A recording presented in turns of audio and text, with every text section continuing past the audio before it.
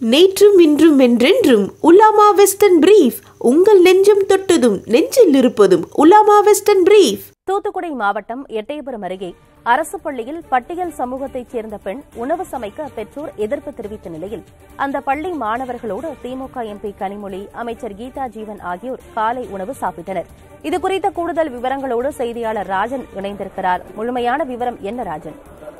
வணக்கம் அதாவது தூத்துக்குடி மாவட்டம் எட்டயபுரம் அருகே உள்ள உக்கலம்பட்டி ஊராட்சி ஒன்றிய தொடக்கப்பள்ளியில் பட்டியலினத்தைச் சேர்ந்த சமையல் சமையலர் முனி செல்வி சமைத்த காரணத்தினால் அங்கு பயிலும் மாணவர்கள் மற்றும் பெற்றோர்கள் எதிர்ப்பு தெரிவித்து மட்டுமின்றி காலை உணவு திட்டத்தையும் தங்களது குழந்தைகளுக்கு சாப்பிட அனுமதிக்கவில்லை இது குறித்து தகவல் அறிந்து கருத்ததும் வருவாய்த்துறையினர் மற்றும் ஊராட்சி ஊராட்சித்துறையினர் காவல்துறையினர் பேச்சுவார்த்தை நடத்தி அந்த பெற்றோர்கள் வந்து தற்பொழுது அந்த இதை ஏற்க மறுத்தனர். இது குறித்து வந்து செய்தி ஒளிபரப்பான நிலையில் தமிழக சமூக நலன் மற்றும் மகளிர் உரிமைத்துறை அமைச்சர் கீதா ஜீவன் நேற்று நேரில் சென்று ஆய்வு செய்தார். அந்த அங்குள்ள பெற்றோர்களிடம் சரி ஆசிரியர்களிடம் சரி தனித்தனியாகவே வந்து அந்த மாணவர்களிடமும் வந்து என்ன பிரச்சனை என்பது குறித்து வந்து விளக்கம் கேட்டுக்கொண்டார்.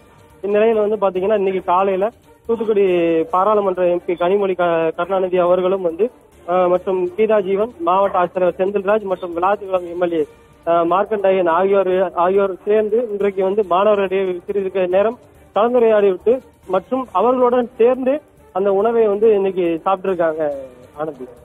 கூடுதல் விவரங்களுக்கு நன்றி ராஜன். நேற்றும் இன்றும் என்றென்றும் உலாமா வெஸ்டர்ன் பிரீஃப் உங்கள் நெஞ்சம் தொட்டதும் நெஞ்சில் இருப்பதும் உலாமா வெஸ்டர்ன் பிரீஃப்